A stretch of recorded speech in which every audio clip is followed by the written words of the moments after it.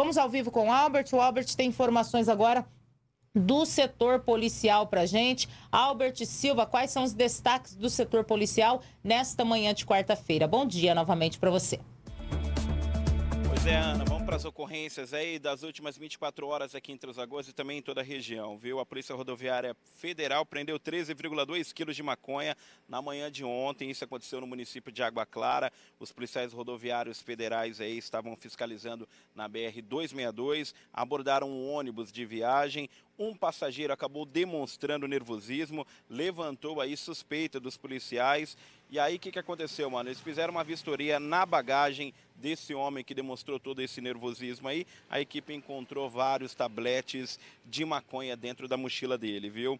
Ele disse que iria receber, né, uma quantia e levaria essa esse entorpecente de Campo Grande até a cidade de Belo Horizonte. Ia receber aí R$ 1.500 para o transporte. Ele foi preso em flagrante. A droga também foi encaminhada à polícia judiciária local. Tá aí, não compensa né, fazer esse tipo de crime aí, porque os policiais estão aí atentos, viu? E acabou aí detendo aí esse homem que queria levar 13 quilos de maconha até a cidade de Belo Horizonte interrompeu aí o destino dele.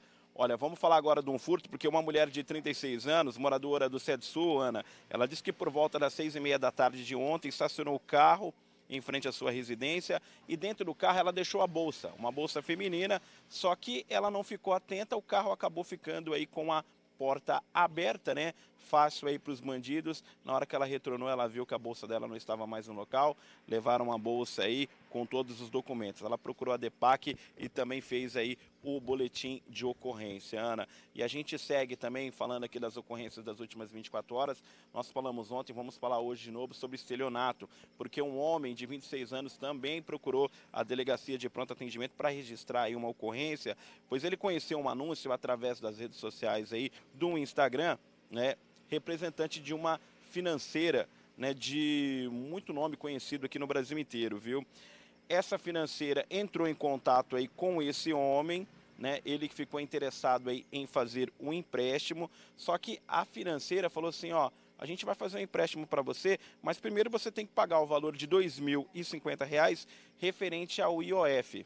Beleza, ele foi lá e fez o depósito, né, fez o Pix aí no valor de R$ 2.050. Na sequência, mais um outro representante pediu para que ele fizesse outro Pix no valor de R$ 1.200, que seria a taxa Selic, né, para que o empréstimo fosse efetuado. Ele acabou fazendo mais uma vez né, o Pix no valor de R$ 3.200.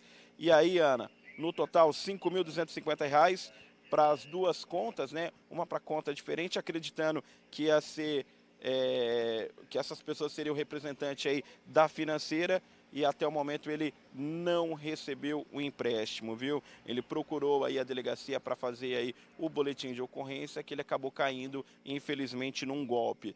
Ele deixou com a polícia militar aí os dados, né, das duas pessoas que ele efetuou esse pix aí para a polícia tentar identificar aí né, esse pessoal que vem aplicando golpe. É golpe em cima de golpe aí. Infelizmente tomou um prejuízo aí de R$ 5.250 por estelionatários que estão fazendo vítimas não só em Três Lagoas, mas também em todo o Brasil. Ana Cristina.